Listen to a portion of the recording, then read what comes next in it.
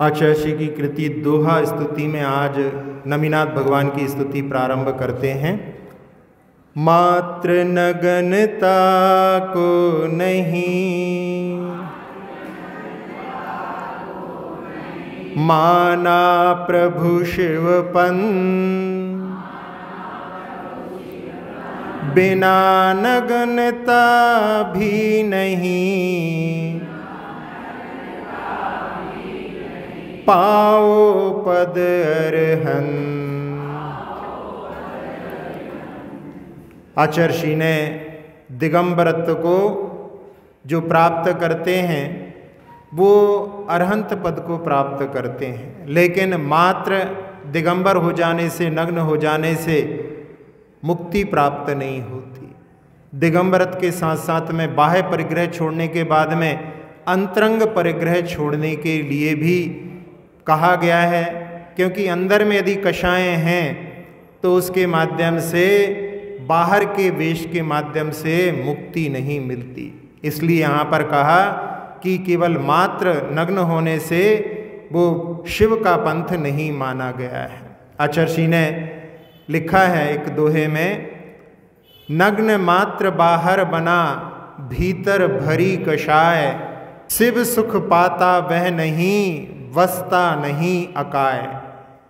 यानी कसाएँ जब तक अंदर से दूर नहीं होती, तब तक वो शिव सुख को प्राप्त नहीं कर सकता और अकाय यानी सिद्ध स्वरूप को प्राप्त नहीं कर पाता। कषायों का जो मोचन बहुत ज़रूरी अंतरंग परिग्रह, बाह्य परिग्रह छोड़ने के बाद में अंतरंग परिग्रह छूटता है, उसके लिए अभी अगले काव्य में भी कहेंगे लेकिन यहाँ पर अंतरंग में यदि कसाएँ हैं, बाहर से यदि दिगंबरत्व है तो वो कार्यकारी नहीं।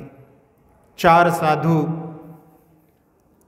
एक स्थल पर, नसिया में चारों कोने पर, चातुर्मास में चार महीने का, तीन तो जो है उपवास लेकर के बैठ गए। और एक महाराज सामर्थ्य नहीं, रोज आहार पर उठते। तीन महाराज वहाँ पर सोचते कि ये जो हैं रोज रोज आहार पर जाते हैं, इतना भी नहीं कि कभी उपवास कर लें। और वो वहाँ पर उनकी अनुमोदना करते कि ये धन्य हैं रोज रोज जो हैं, उपवास करते हैं। तो वहाँ ऐसी स्थिति हुई कि अनंत चतुर्दशी का जब व्रत आया तो उसमें तो छोटे छोटे बच्चे भी उपवास रख लेते हैं। लेकिन उन्होंने जो है उपवास को नहीं रखा। उस दिन भी जो है आहार के लिए उठे और यहाँ पर तीनों सोच रहे हैं कि देखो, बच्चों से भी गए बीते हैं। और वो अपनी मन में निंदा करते हुए लौट करके आते हैं और मन में बड़ा खेद कि देखो कैसा सामर्थ्य प्राप्त हुई है कि एक दिन भी सहन नहीं कर पाते हैं। और उस समय में अपनी निंदा ग्रहा करते हुए, सबकी प्रशंसा करते हुए और वो ऐसे अपने आत्मा में लीन हुए कि उसी संध्या काल में उनके लिए केवल ज्ञान की प्राप्ति हो गई। तो ऐसी जो है, स्थिति रहती है। कषायों से जो रहत होते हैं, वो ही मुक्ति को प्राप्त करते हैं। तो इसलिए यहाँ पर ये कहा गया है और इसमें साथ साथ में जब तक कुछ भी तिलतुस मात्र विधि पास में होता है, तब तक जो है, मुक्ति भी प्राप्त नहीं होती। इसलिए यहाँ पर कि बिना नगनता भी नहीं पावो पद अरहंत। आप लोग उस पंक्ति को जानते ही हैं कि फांस तनकसी तन में साले, चाहे लंगोटी की दुख भाले। अभी पानी गिरने लगा, वैसे तो पानी गिर ही रहा है। यदि और समय में, असमय में गिर जाता तो बहुत सारे लोगों के मन में विकल्प हो जाता। कपड़े सूख रहे हैं, कुछ सूख रहा है। तो ऐसी स्थिति परिग्रह वालों के साथ में स्वाभाविक रूप से हो जाती है। लेकिन जो निष्परिग्रह रहते हैं, उनके लिए कोई भी शल्य नहीं रहती, कोई भी चिंता नहीं रहती। तब जा कर के उनका ध्यान अपनी आत्मा में लीनता के लिए, वो शुक्ल ध्यान को प्राप्त करने के लिए पूरे बाह्य परिग्रहों से रहित होकर के और अंतरंग परिग्रह से रहित होकर के ही प्राप्त किया जा सकता है। प्रथम हटे छिल का तभी। लाली हटती भ्रा। पाक कार्य फिर सफल हो। लो तब मुख में भार। हाँ यहाँ पर आचरसी कह रहे हैं कि चावल जो होता है, उसमें छिलका रहता है। ऊपर एक कठोर कवच जैसा होता है। जब तक वो दूर नहीं होता, तब तक उसके ऊपर जो लालिमा लगी रहती है, उसको दूर करना संभव नहीं। तो पहले बाह्य परिग्रह को छोड़ना पड़ता है, उसके बाद में अंतरंग परिग्रह चौदह प्रकार का दूर होता है। उसमें बाह्य परिग्रह को छोड़ने के बाद में अंतरंग परिग्रह दूर हो कोई ज़रूरी नहीं। लेकिन बाह्य परिग्रह को छोड़े बिना अंतरंग परिग्रह कभी भी दूर नहीं हो सकता। इसलिए सबसे पहले तो बाह्य परिग्रह छोड़ने के लिए कहा है। बहुत सारे लोग ऐसे भी हैं जो बाह्य परिग्रह रखने के बाद में भी अपने आप को निष्परिग्रह कहते हैं। कटनी में पंडित जगन मोहन लाल जी थे और वहाँ पर ऐसे ही आठ भिक्षु वहाँ पर उनके साथ में चर्चा कर रहे थे और उन्होंने कहा कि हमारे मन में कोई भी मूर्छा नहीं है, क्योंकि मूर्छा को परिग्रह कहा है। जब मूर्छा नहीं है तो परिग्रह भला ही रहा है। लेकिन उसके प्रति हमारा जब मूर्छा का भाव नहीं है तो हम निष्परिग्रही हैं। तो पंडित जी ने कहा कि उन वस्त्रों को मूर्छा हो गई होगी जो आपके पास में आ गए। तो उस समय में वो उस बात को स्वीकार करने के लिए भले तैयार नहीं थे और वो आठों जो है भ्रमण करते करते शिखर जी पहुँचे और पंडित जी भी जब शिखर जी पहुँचे तो एक साधु ने वहाँ पर स्वीकार किया कि ये रखना हमारी मूर्छा है। तो ये जो है, बाह्य परिग्रह के छोड़े बिना अंतरंग परिग्रह जाता नहीं है। अंतर की मूर्छा वही दिखाती यदि बाह्य परिग्रह साथ में है तो अंतर में मूर्छा है, ये प्रकट करती है। जब बाह्य परिग्रह रखा है तो उसमें फिर उसका संरक्षण भी करना पड़ता है, उसको धोना आदि भी पड़ता है। तो उसके कारण में उसके प्रति ममत्व भाव अवश्य है, ये दिखलाता है। एक हाथी के लिए जब कपित्थ खिलाया जाता है, कबीट एक होता है, क्या बोलते हैं यहाँ पे? कैथा क्या बोलते हैं? कैथा बोलते हैं? क्या बोलते हैं? कैथ बोलते हैं, कैथ, कैथा पास में ही है। कपित्थ जो होता है हाथी जो है उसको बिना तोड़े हुए खा जाता है। और कहते हैं कि वो पेट से जो है पूरा का पूरा बाहर निकल जाता है। लेकिन अंदर से उसका जो दल रहता है पूरा गायब हो जाता है। वो एक बात अलग है, यहाँ पर जो कथा कहा है कि पहले बाहर का हटे तब अंदर का हटे लेकिन यहाँ पे साथ साथ में ये भी है, जहाँ से वो जुड़ा रहता है, पेड़ से जुड़ा रहता है उतने छेत मात से सारा का सारा उसकी जठराग्नि इतनी तीव्र होती है कि अंदर से सारा जो है दल वहाँ से बाहर खींच लेती है। बाहर जो है खाली बॉल कबीट की जो है बाहर आ जाती है। ऐसी उसकी जठराग्नि होती है। तो यहाँ वैसे इससे संबंध नहीं है, लेकिन फिर भी इससे जो है व्यत्यास रखता है, इसलिए उसको भी साथ साथ में देख सकते हैं। अनेकांत का दास हो। अनेकांत की से करूँ गहूँ मैं शीघ्र से। अनेक गुण स्वयं अनेकांत का दास हो। पहले भी आया था एक काव्य कि कोई भी वस्तु जो होती है वो अनेक धर्मात्मक होती है। और जब तक हम उसके सारे पहलुओं को नहीं जान लेते, तब तक हम यदि किसी एक बात पर अड़े रहें तो वो एकांत का प्रतीक होता है और एकांत को मिथ्या कहा है। इसलिए अनेक पहलुओं को जानने के लिए यहाँ पर कहा गया है। बिनोबा भावे से एक व्यक्ति ने कहा कि मैं जो कुछ कहता हूँ, बिल्कुल सत्य कहता हूँ। सत्य के अलावा मैं कभी भी अपने बचनों को नहीं निकालता। तो बिनो बाबा ने कहा कि बिल्कुल पक्की बात कर रहे हो? कहले हाँ बिल्कुल पक्की बात कर रहे हैं। पूछा उनसे कि, बताओ, हिमालय कहाँ पर है? तो उन्होंने कहा, सब जानते हैं, उत्तर में हिमालय है।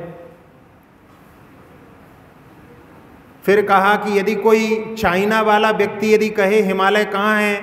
तो क्या कहेगा? तो उन्होंने कहा, वो कहेगा, हिमालय दक्षिण में है।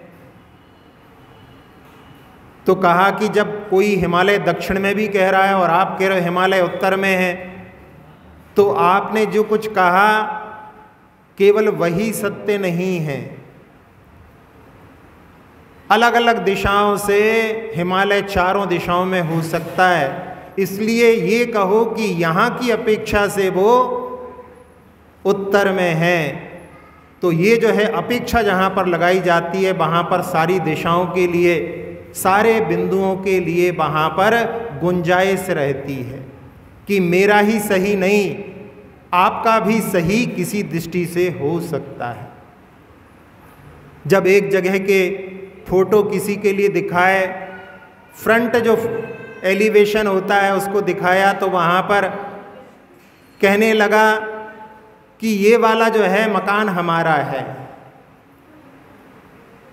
जब उसको साइड व्यू दिखाया तो कह ले ये भी हमारा ही मकान है। ऊपर का प्लान दिखाया तो कह ले ये भी हमारा मकान है। तो वहाँ पर इतने बिंदुओं से अलग अलग जब जा कर के देखा तो वास्तव में वो एक ही चीज़ के लिए अलग अलग दृष्टि से देखने पर वो अलग अलग प्रतीत होती है। इसलिए वस्तु को जो है अनेक दृष्टियों से देखने के लिए जहाँ पर कहा जाता है वो अनेकांतात्मक धर्म होता है। जब कोई व्यक्ति एक ही पहलू पर अड़ा रहता है तो उसके माध्यम से वो सत्य को उद्घाटित नहीं कर पाता। और इसके माध्यम से जहाँ एक सोच में नकारात्मकता भी रहती है और उसी को यदि अपन अलग प्रकार से सोचा जाए तो उसमें सकारात्मकता भी आ सकती है। एक व्यक्ति ने बहुत अच्छा भवन बनवाया। दस दिन बाद उसकी ओपनिंग थी, यानी उसमें प्रवेश करना था, महोत्सव होने वाला था। लेकिन अच्छा उसमें एंटिक उसने फर्नीचर वगैरह भी बनवाया था और शॉर्ट सर्किट के कारण आग लगी, पूरा का पूरा भस्म सात हो गया। लोग इनविटेशन मिला था। सुना उन्होंने तो वहाँ पर सांत्वना देने के लिए आए। और उस समय में देखा कि वो बिल्कुल भी विचलित नहीं, प्रसन्न। आने पर उसने कहा, मिठाई आदि खिलाई।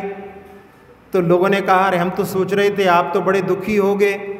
तो उन्होंने कहा, भैया अच्छा रहा, पहले हो गया। यदि पूरा परिवार प्रवेश कर जाता तो पूरे परिवार नष्ट हो जाता। ये मकान नष्ट हो गया, इसको तो हम बना सकते हैं। लेकिन परिवार के ऊपर आपत्ति आती, नष्ट हो जाता तो उसको बनाना किसी के संभव नहीं था।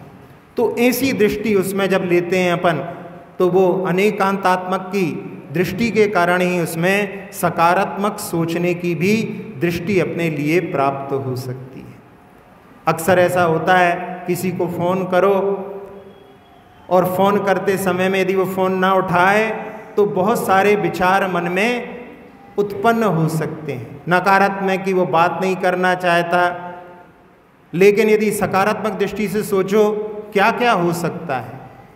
हो सकता है ड्राइव कर रहा हो हो सकता है कोई मंदिर में हो, साधुओं के पास में उनके सामने जो है फ़ोन को उठाना अच्छा नहीं समझते हैं।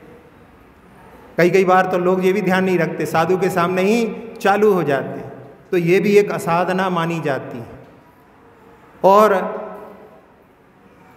कोई ऐसा भी हो सकता है कि किसी से जो है बिज़नेस डील कर रहा हो, कहीं ऐसा भी हो सकता है फ़ोन दूर रखा हो, कितने सारे पहलू हो सकते हैं।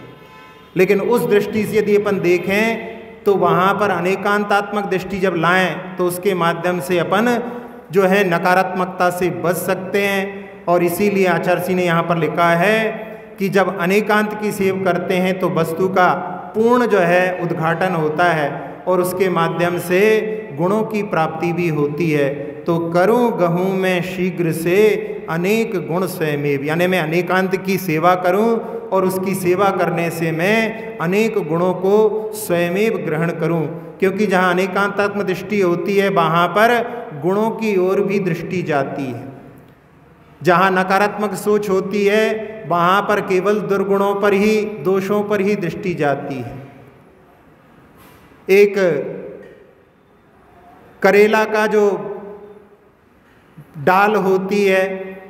उसमें भी यदि वहाँ पर ग्राफ्टिंग की जाए तो वहाँ पर, उसमें भी वहाँ पर करेले में से भी जो है, मधुर रस को खींच करके कोई मधुर फल के निर्माण किया जा सकता है। और आम के वृक्ष में यदि ग्राफ्टिंग करके करेले की बेल का वहाँ पर यदि ग्राफ्टिंग किया जाए तो वो वहाँ से भी, मधुरता से भी कड़वापन खींच करके करेले का निर्माण कर सकती है। तो ये दृष्टि की बात है कि वहाँ पर देख करके यदि कोई चाहे तो उसमें से भी मधुरता को ले सकता है और उसी में से मधुरता में से भी चाहे तो कोई कड़वाहट भी ले सकता है।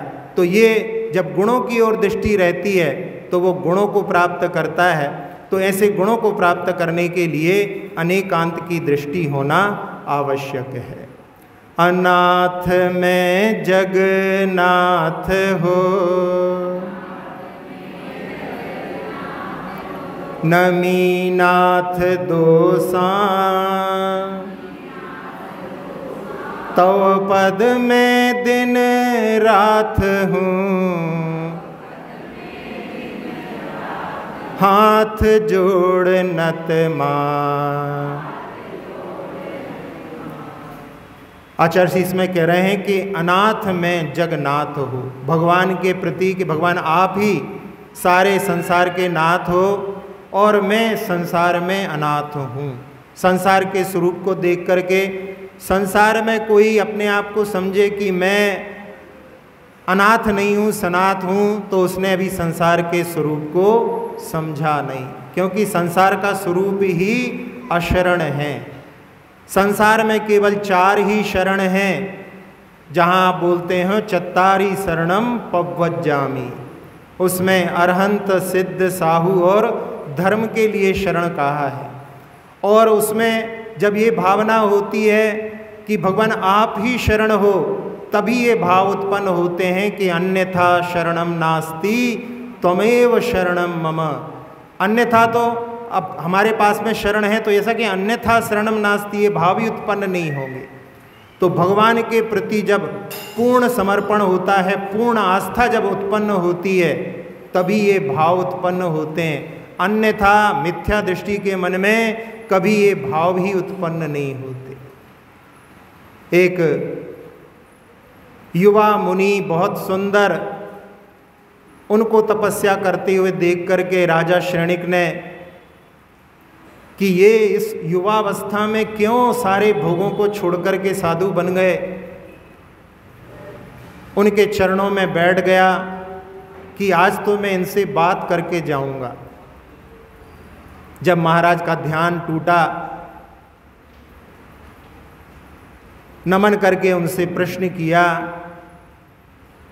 कि आपको ऐसी क्या परेशानी थी जो आपने इस युवावस्था में, इस अवस्था को प्राप्त किया? मुनिराज कहने लगे कि मैं एक श्रेष्ठी का पुत्र था, उनके यहाँ पर कोई कमी नहीं थी। सुंदर कन्या के साथ में मेरा विवाह भी हो गया था। एक दिन मेरी आँखों में बहुत तीव्र पीड़ा हुई और उस पीड़ा में सारा परिवार वहाँ पर सेवा में लगा हुआ था, लेकिन कोई मेरी पीड़ा को बांट नहीं सका। बड़े बड़े वैद्य उपचार कर रहे थे, लेकिन कोई भी मेरी पीड़ा को हरने में समर्थ नहीं था। और उस समय में मुझे ऐसा लगा कि भले ही मैं समझता हूँ कि ये सब मेरे हैं, लेकिन मुझे पहली बार ऐसा एहसास हुआ कि मैं इस संसार में अकेला आया हूँ और इस पीड़ा को देख करके लगता है कि मैं अकेला ही यहाँ से जाऊँगा। मेरे मन में उस समय धर्म के प्रति दृष्टि प्राप्त हुई। मन में ऐसे भाव हुए कि वो एकाकी विचरण करने वाले साधु की पदवी को यदि मैं प्राप्त करूँ, यदि मेरी ये पीड़ा दूर हो जाए। ऐसे भाव करने से अचानक कुछ ऐसा परिवर्तन हुआ कि मैं कई दिनों से सो नहीं पाया था, लेकिन उस रात मुझे निद्रा आ गई। और प्रातः काल में पत्नियों के आभूषणों की आवाज़ से सुनकर के मेरी निद्रा टूटी। और वो सारे लोग प्रसन्न थे, लेकिन आज मेरे मन में जो मैंने संकल्प लिया था उसके कारण वो मेरे चेहरे को देख कर के सारे घबरा रहे थे कि क्या हो गया। और जब मैंने उनके लिए बताया कि मैं दिगंबरत को धारण करने जा रहा हूँ तो सारे वहाँ पर रुदन करने लगे, लेकिन मैंने संसार के स्वरूप को समझ लिया था कि यहाँ पर कोई नाथ नहीं है, मैं अनाथ हूँ और मुझे भगवान की शरण को प्राप्त करना है। यदि आप मेरी पीड़ा को हरने में समर्थ हो, आप यदि मेरे नाथ बनने के लिए समर्थ हो तो आप बताइए। राजा श्रेणिक वहाँ पर चरणों में नमन करके कहते हैं कि कोई किसी की पीड़ा को हर नहीं सकता। ये तो केवल हम बाहरी जो है चीज़ें आपको उपलब्ध करा सकते हैं। वास्तव में कोई किसी का स्वामी नहीं है। जीव यदि स्वयं अपना कल्याण करना चाहे तो धर्म का सहारा लेकर के, भगवान की शरण लेकर के अपना कल्याण कर सकता है। तो इसी भाव से यहाँ पर लिखा कि हे भगवान मैं अनाथ हूँ, आप जगन्नाथ हो। और नमीनाथ भगवान से प्रार्थना की है कि मैं तव पद में दिन रात हूँ, हाथ जोड़ नत मात। हाथ जोड़ करके, मस्तक नवा करके मैं आपकी आराधना करता हूँ। और इस भावना से कि ये मुक्ति तक आपका साथ बना रहे, ऐसी भावना से नमीनाथ भगवान की स्तुति यहाँ पर पूर्ण हुई। इति श्री नमीनाथ जनेन्द्राय नमो नमः। अक्षर पद मात्रा से दूषित वचन अगर ममहीन रहे, और प्रमाद कषाय के वश में सम्यक अर्थ विलीन किए। जिन वाणी माता मेरी, उन सब त्रुटियों को क्षमा करें। दे आशीष शीघ्र हम सबको केवल लब्धि रमा मिले। प्राप्त हमें हो बोधि समाधि, परिणामों की शुद्धि हो। निज आत्म उपलब्ध हमें शाश्वत सुख की सिद्धि हो। चिंतित वस्तु दात्री माता, चिंतामणि उपमा भाती। करो वंदना पूर्ण विनय से, चरण रखूँ मैं ये पाती। कर जिन वाणी स्तुति तन की ममता टार।